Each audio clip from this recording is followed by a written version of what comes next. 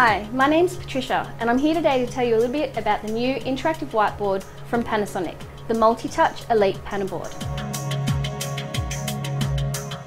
The first feature on this board that I'm going to show you is that you can use either your finger or a stylus in its operation. This gives you the freedom to use whatever you feel most comfortable with and helps your students enhance both the skills of writing with a tool or using their finger. So I'll show you how this works now. I'm going to change the dial at the end of my stylus to red and I can write on the whiteboard here. Now using my finger, I'm going to pick blue from the menu at the top here and I can do the same thing down here. The second great feature of this board is its durability.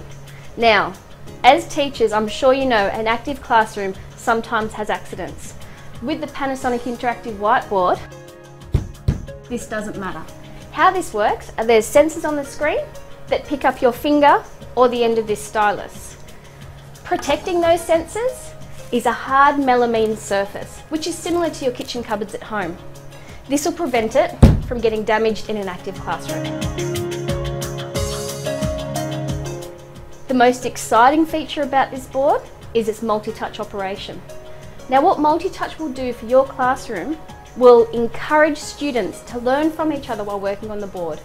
Will give more students opportunity to use the board at the same time and also encourage collaborative learning. I'm going to show you how this works now. I can use one touch to move this image here.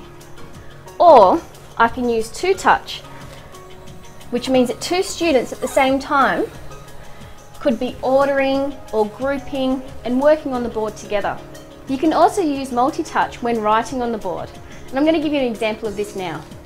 Selecting red, I'm going to pretend there's three students working on the board. One, two, and three.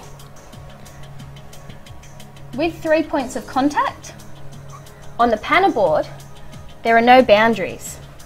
So you can work wherever the student needs to work. Writing directly into Microsoft software like Excel, PowerPoint and Word is a really powerful tool for you, for you to have in your classroom. I'm going to give you an example now with Microsoft Word. I'm going to write text using the stylus and my title is school. I'm now going to use some of the functions that are in the software of Microsoft Word. I need to make sure that my finger's a mouse, so I bring up my menu and press mouse. Then I press add-ins. There's two different options here. This one will turn it into text. As you can see, you can now use this as if you were typing directly into this Word document but this time you do it right in front of the class. You can also draw directly into Microsoft Word, and I'll give you an example of this now. Just by drawing a simple spiral, I go into add-ins, and this becomes an image inside the document. With the design of the Panaboard, the speakers are internal at the base of the board. It's adjustable with the volume adjustment at the side. So, what the Panaboard brings to your classroom is a choice to choose between using your finger or your stylus, enhancing the skills of both your students and yourself.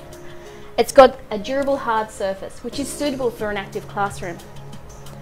The multi-touch operation is engaging to students and encourages collaborative learning. It's got the add-in feature to Microsoft software, which I'm sure you're going to use. And in the design, it's got the in inbuilt speakers at the base of the board. I hope you've learned something today about the new Multi-Touch Elite Panaboard.